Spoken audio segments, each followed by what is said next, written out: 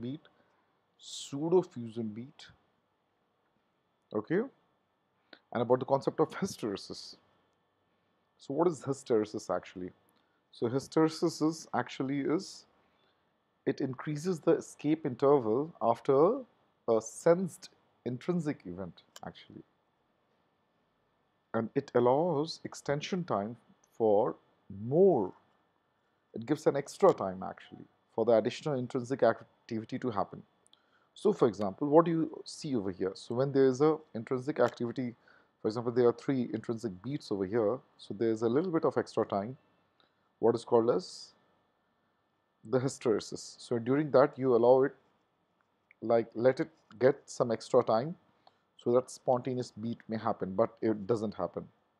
So you try to give it because you are trying to protect the patient's intermittent or intrinsic uh, conduction. Similarly, you are trying to prevent the fusion or the pseudo fusion as well. So coming to the disadvantages, it has to be a rate which the patient can tolerate. Similarly, if the hysteresis rate is too low, it may cause a patient to become symptomatic, for example, angina or the patient may also feel easily fatigued. So it should not be ideally used in patients who are having atrial fibrillation or flutter. Similarly, frequent PVCs could cause frequent initiation of hysteresis. So that's why a lot of times it is misunderstood and therefore it is misinterpreted as well. So what do you notice in this uh, rhythm strip? So for example, the first one is a normal sinus beat, PQRS T. So then after that there is a normal inherent intrinsic P, but after that there is a pacing spike followed by a not so usual QRS complex, right? So this is more of a fusion beat. And then after there is a normal paced QRS spike, pacing spike and QRS deflection, depolarization. Same thing which is happening for the fifth beat as well. Sixth and seventh are inherent beats. And then again, the last two beats are all intrinsic, uh, I would say like fusion beats. And then what happens is, so after the intrinsic beat over here, the third last beat if you see, so there is a gap which is given over here, extra gap, which is longer than the normal interval. So that, you try to give it some time to allow it to be able to pace. So what is dual chamber pacemaker? Dual chamber pacing is, is in the atrium and the ventricle and you try to see the pacing or the sensing as well. So what is the pace, pacemaker syndrome? So what happens is there's always a A and V synchrony in the sense atrial contraction happens first, after that the ventricular contraction. But a lot of times what happens is if the AV synchrony is not there, patient will start feeling bad. Due to which if you will be able to restore that AV synchrony, immediately the patient will tell doctor, you did a magic thing with me and I really feel better. So what about the leads? So as you all know, the dual chamber consists of two leads, atrial and the ventricular lead. And there is one pulse generator but having two circuits. So what are the two circuits? One circuit is for the atrial pacing and sensing. And then of course the second one is for the ventricular ventricular pacing and sensing. Now coming to the dual chamber pacing. So the rule of dual chamber pacing is to fill in the blanks for the patient. In other words, if the patient doesn't have a P wave, then the pacemaker will pace in the atrium. Similarly, if there is no R wave, then the pacing will happen in the ventricle. So these are these are again those ECGs, beautiful ECGs, which gives an example. So what is happening over here? So the first one is as well, there is a pacing spike followed by a P wave. Then there is a narrow QRS, right? So this is the inherent QRS. Then you see a T wave. Again, pacing, pacing spike, P wave, QRS, T, pacing spike, P, QRS, T. So the, there is a paced atrial paced atrial beats and there is sensing of the ventricle. So then there is intrinsic P and R wave. So there are four states of dual chamber pacing. So what are those four states? You're going to see. So one is the AV pacing. Then AV. So as you saw it, and then something is called as AR. AR in the sense, A you it, but ventricular you are able to sense. So then this is PV sensing, right? So finally is the PR pacing. So now coming to the timing cycles. So what are those timing cycles? So timing cycles refers to is the atrial dual chamber delay. For example, AV delay, then PV delay. So what is this PVAP? The post, yeah. Uh, I can't I can't hear you well. So so what is your question? Tell me.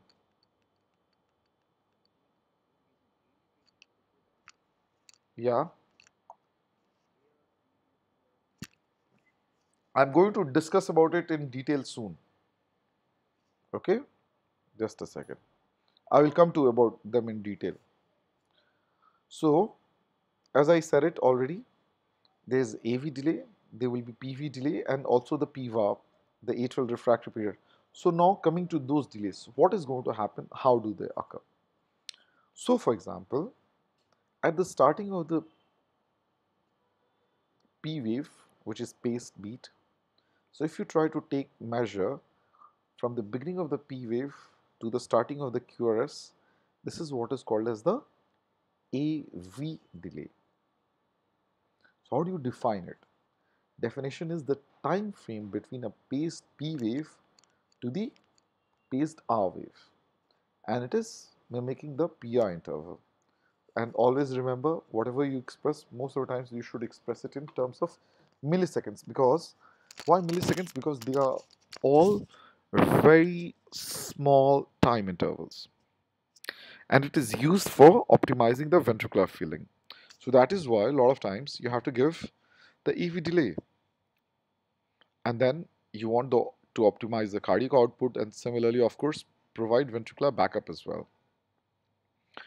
Then comes the PV delay, right? So few people were asking as well, PV delay. So what is the meaning of PV delay? So PV delay is actually the time frame between a sensed P wave to the paced R wave.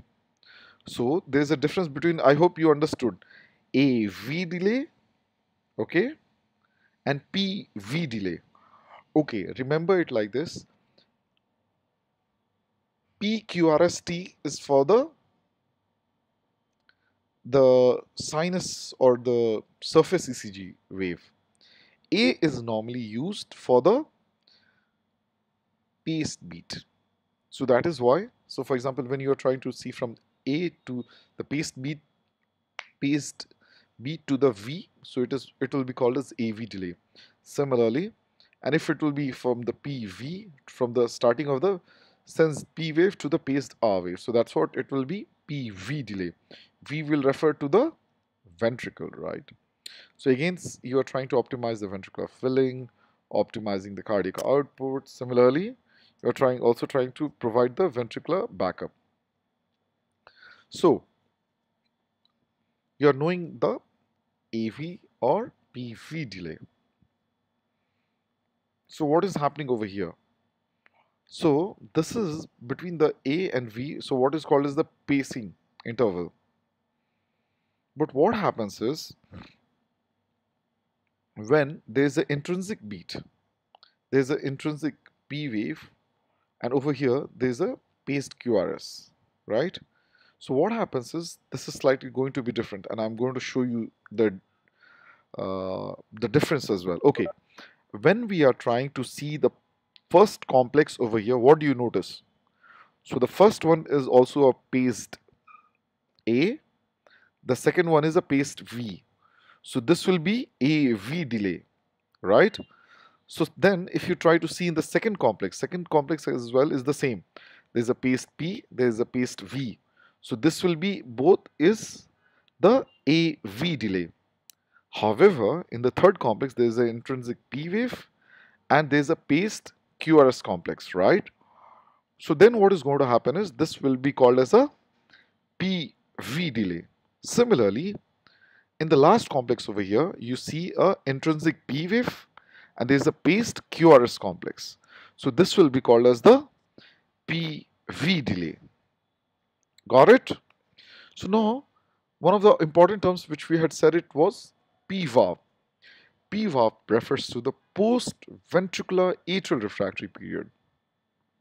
So now let's try to understand what does it mean actually post-ventricular atrial refractory period. So what happens is this is the time frame or the time when atrial channel is refractory. Okay. So normally this is initiated when there is a paced or a sensed R wave. So, so what is happening over here is, so for example, you see is a there is a paced P wave. There is some isoelectric interval. Then there is a paced pacing spike, then there is a QRS, right? So what is happening is, this is the time, what, what happens is, oh, as you can see it over here, during this time, atrial channel is refractory. So whatever you do, you will not be able to get a atrial complex over there. Similarly, and there will be no, of course, sensed R wave as well. So this, this time interval is expressed as the PVA, post-ventricular atrial refractory period. Again, expressed in terms of milliseconds. Don't forget. So when there is a pace, uh, so in simple terms like this, you can break the word as well into its different part in the sense post-ventricular atrial refractory period. So for example, after there is a paced or sensed ventricle, the atria goes into refractory. So that is what is the PVAP. So then, atrial alert period. So what is the atrial alert period is? That's the time frame after the PVAP when the sense amplifier is open and can see the P waves. So for example, what is happening over here? So there is atrial alert period. Okay, there's a PVAP followed by atrial alert period. Right? Then again there is a P complex. Then finally after that there is a paced QRS, of course, associated with the PVAP. And finally again there is a alert period right? So don't worry. One thing I would say as well, it it may happen to you guys is it takes time for you to build it up. I would say in the sense. Uh, so don't worry. You may not be able to understand a lot of uh, like in the first time itself. Need to spend some time going through all this stuff again and again. Go through again, read again. You will forget. Again, you will read. Again, you will forget. But again, you must read and that's how it goes on okay let's keep going so then comes is the ventricular dual chamber timing cycles so how do you do it so using the ventricular refractory period ventricular alert period or V2A cycle so the definition wise that's the time frame after a ventricular pacing pulse or an intrinsic R wave that the ventricular channel cannot see. So what do you notice over here? So there is a ventricular refractory period over here. So the I'm sorry. So this is exactly the time frame or the time interval when the ventricular pacing pulse intrinsic R wave is there and that ventricular channel cannot sense. So during this time, whenever, say for example in the first beat, what has happened is there is a inherent QR. So during this time, it cannot sense. So that makes it a little bit tricky. But one thing is there, you will not be expected to know all these things. So you know some of these things, that's will be pretty good enough for you guys. So coming to the ventricular alert period. Ventricular alert period is the time frame after the ventricular refractory period that the sense amplifier is open looking for R wave. So for example, in the ventricular alert period, so what is happening over here? So you notice is there is so so so for example, what do you notice? So the first beat is a inherent beat, right? So that is why there is a ventricular refractory period, which is again followed by an intrinsic P wave. That's why, which is followed by the ventricular alert period, and so on. It keeps going. Then comes the VA interval. VA interval is the time frame from the ventricular contraction, either an intrinsic R wave or a ventricular pacing pulse to the next time the pacer will pace in the atrium. So, so you have to do the calculation for V to A interval. So how you do that? Programmed rate minus the programmed AV delay. So these are some of the values you should try to remember. The, these are important values. If you're trying to deal with the pacemaker programming, it's important. So V to A interval, how do you say? So for example, it of course starts from the V spike to the A spike. Okay. So for example, although if there is an intrinsic R wave as well, it will start in the same way. So this is how is the VA interval in terms of if there is an intrinsic P wave, uh, intrinsic activity or otherwise the paced activity. So there is something called as the rate responsive pacing. So as the name itself says, it's the use of a pacemaker with some type of sensor to adjust the pacing rate to meet the patient's metabolic needs. In the sense, so for example, if someone is chronic incompetence, chronic incompetence, what is the problem is? The patients, even if, for example, one is running, it's, the heart is unable to increase its heart rate appropriately in response to the stress or exercise actually. So this is what happens. So for example, there will be a limit beyond which it will not be able to raise its heart rate. And it it it will it is going to make the patient really symptomatic. The patient will not be able to do a lot of work. The patient is going to be really feel tired and all. So these are the things. And of course, there's will be failure to achieve the peak heart rate in fact. So what is the goal for the rate responsive pacing? You're trying to provide an increased heart rate for the chronic incompetent patient so that the patient can lead a better life, right? So what you do is you use a pacemaker which allows you to program a minimum rate and a maximum rate. And so you also try to see for the sensor input. So how is it going and on the basis of that at a certain rate between minimum and maximum you try to do the pacing work.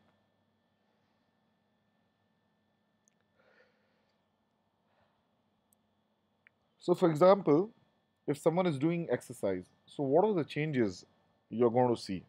So what happens is, of course, so if one is doing exercise, the what is going to increase? The heart rate will is going to increase. Even the oxygen saturation level is going to increase. The cardiac output also increases. Similarly, the body height as well increases, right? And then what is called as MVO, so for example, minute volume ventilation and that also increases as well. Although the QT may shorten, in fact. So movement is going to happen. So what are these sensors, sensors which you are using? The sensors which we use in nowadays world, they are very smart, they're very efficient, and they are really good. So what happens?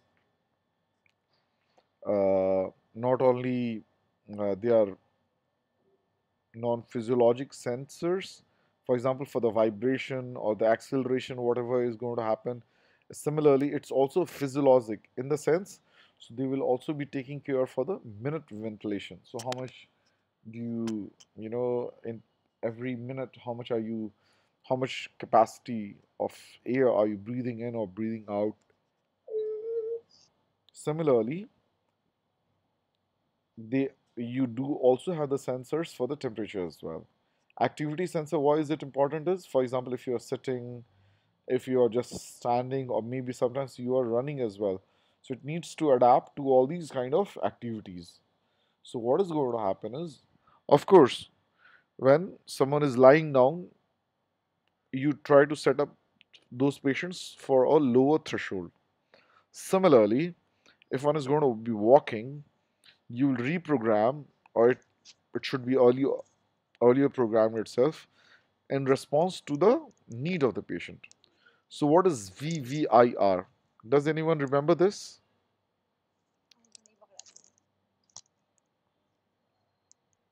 What is VVIR?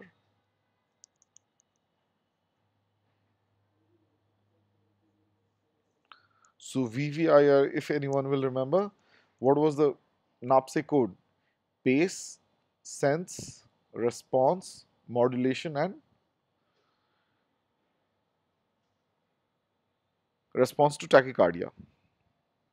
So what is happening is patient is pacing is happening in the ventricle, sensing also in the ventricle, although there is inhibition when an R wave is sensed. Although of course it can increase the heart rate depending upon the sensor. So what is called as a rate modulated pacing. Rate modulated pacing is a sensor driven pacing with moderate exercise. So for example, if someone does a little bit of exercise, the rate is also going to increase further. Then comes triple DR. So there's pacing in the atrium and the ventricle. And there's sensing in the both the chambers as well and it is able to inhibit in not only atrium but also ventricle as well and it is able to track the atrial activity in the ventricular channel. Similarly, it does increase the pacing rate based upon sensor input. So what about the rate modulated pacing? So what is happening is when you use a temporary pacing, you all know you try to use a temporary wire using the bilateral among among the bilateral whichever suits you most of the times they try to choose the right sided one itself so what are those temporary pacing ones it can be against single chamber ventricular Yes, the good advantage is prevents bradycardia. Among the disadvantages for the single chamber pacemaker is there is no AV synchrony. So what do you do for the temporary pacing? When the someone is already having a heart attack or some complication. So you can try to do also do a dual chamber pacemaking. So coming to the advantages, so it does prevent bradycardia, it maintains AV synchrony, and the, regarding the disadvantages, there's chronic AFib or flutter. And of course, there can be misplacement of the two leads. So as you all know, the temporary pacemaker is, a, is in VVI mode and that is what it is also there in the oldest pacemaker which came to India. Okay. So, what happens is how do you do that? So there are also some of the uh, temporary pacing modes, but in like the DDD mode as well. So DDD will be pace sense response. So a lot of times, how do you interact with the permanent pacemakers? So what is called as magnetic response. So you try to use a magnet to only pace the chamber asynchronously. And if the magnet response is programmed on the VOO or DOO. So for example, what about the chances of interaction of pacemakers with the devices? Yes, they can react adversely to the MRI. So that is why it is contraindicated because of the extremely high magnetic forces as it may cause the reed switch to close otherwise asynchronous pacing. Similarly, it can also cause inhibition or rapid pacing. So if a physician seems necessary, patient should be monitored during the procedure and the pacemaker should be evaluated that before this, uh, before the MRI scan, is there any need as well or how to even program it, your device in fact. So, it also interacts with the external defibrillator. So, you should never place the paddles over the pacemaker. So, this is something which you have to know.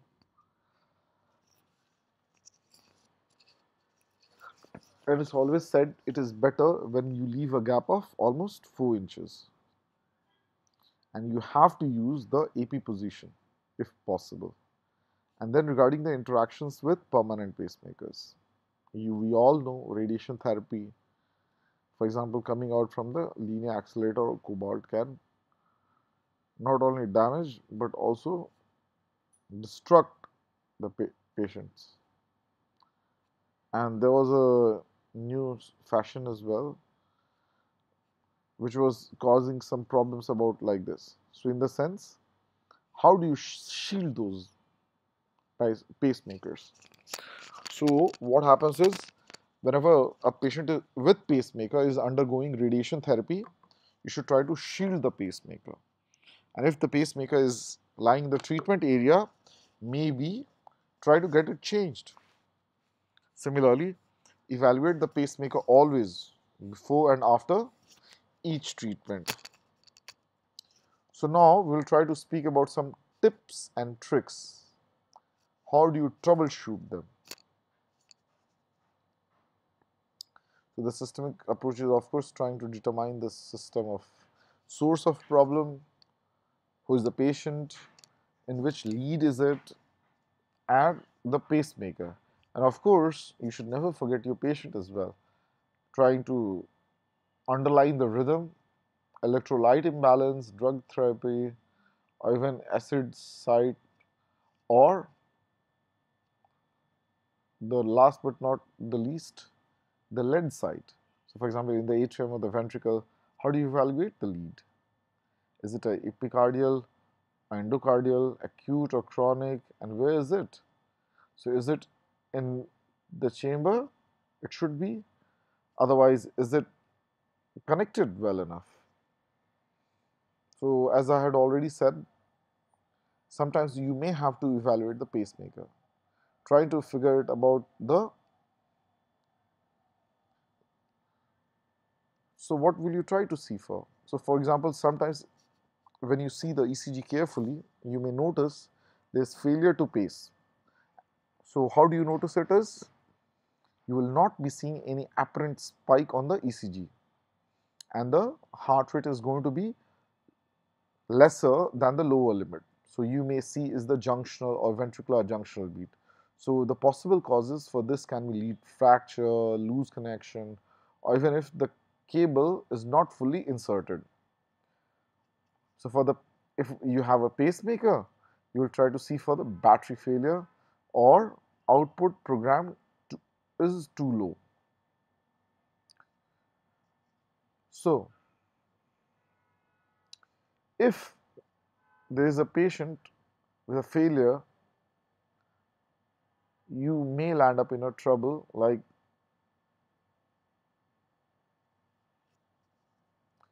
is if you are not able to see any pacing spikes. So, what do you do? You must always check for the patient's safety first. For example, call up your doctor, only if needed, apply your external pacer if needed. And then, yes, if there is demand of too much problems, if you may notice, you have to be careful with the external pacer, atropine or the increased output. Way you have to check for the connections, replace a temporary battery always. Uh, you need to maybe sometimes even change the box or the cables. So what are the reasons for failing to capture? It may happen due to the signs and symptoms like outward spike is not followed by depolarization. Okay. So now coming to the lead problems. So if the lead is having dislodgement or fracture, that can also cause failure to capture. So a pacemaker, even after insertion, so when you are when you are noticing there is failure to contract, you should get it checked for the polarity with the pacemaker.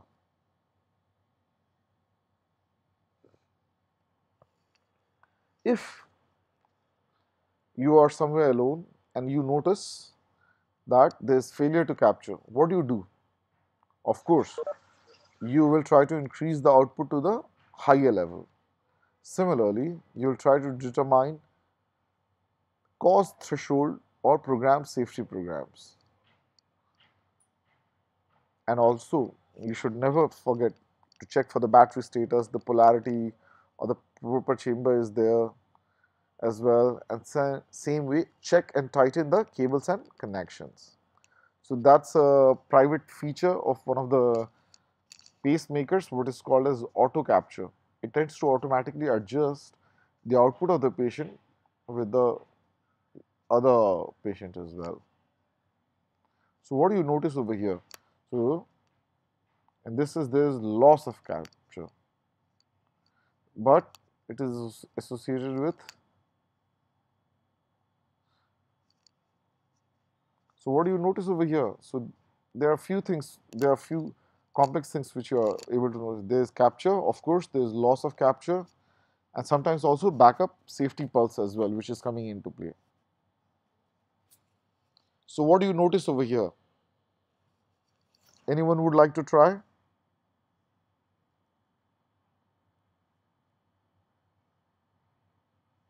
So what do you notice?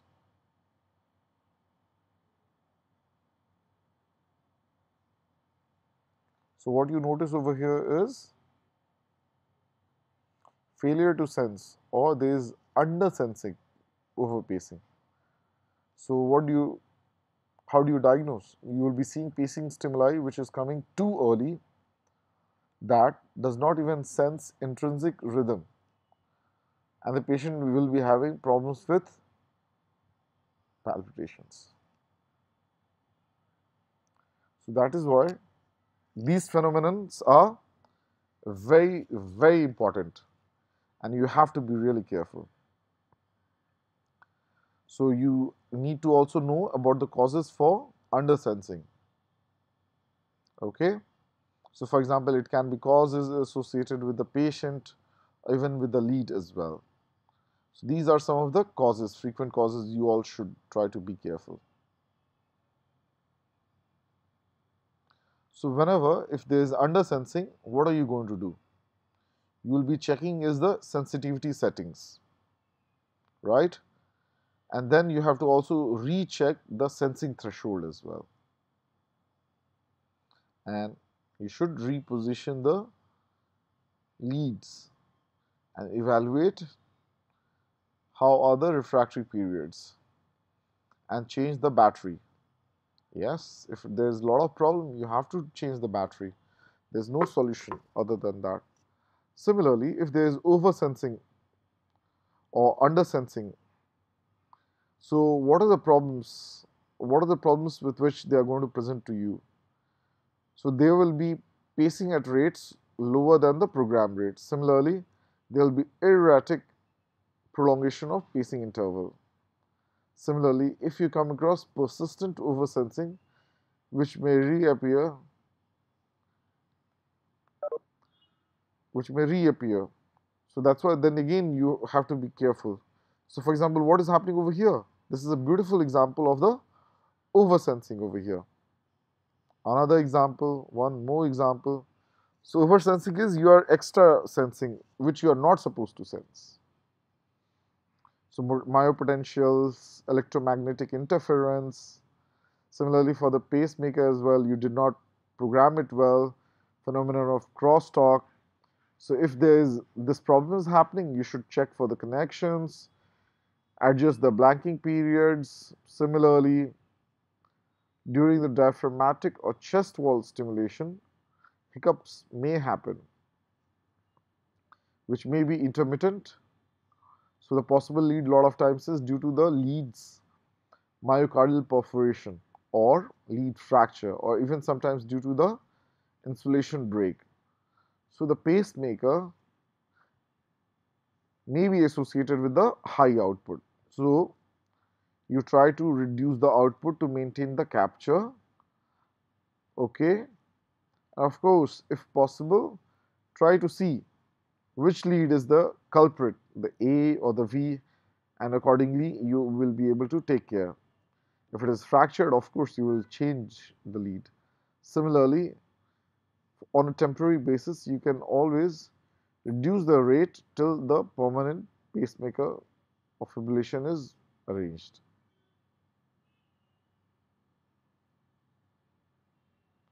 Okay, so I think a lot of people are already aware of what is called as pacemaker mediated tachycardia. So mostly seen in dual chamber tracking modes in which the P tracking pacing is at or near the upper rate limit. Patient may have palpitations or even the hypotension as well. It is happening due to the loss of atrial capture or a PVC. Similarly, the retrograde conduction of the impulse causes atrial depolarization. Right? So why I have tried to insert so many figures is it will be easier for you all to learn it whenever you're trying to go through all these textbooks and all. So if there is pacemaker tachycardia, immediately apply a magnet. Okay? But yes, you must not forget even the magnet they themselves can cause all these problems. So, since we are approaching towards the end of the session, so what else is left? Anything happens, always put it in papers. Document, document, and document. Okay, so that's really, really important. Never forget that and whatever you do and all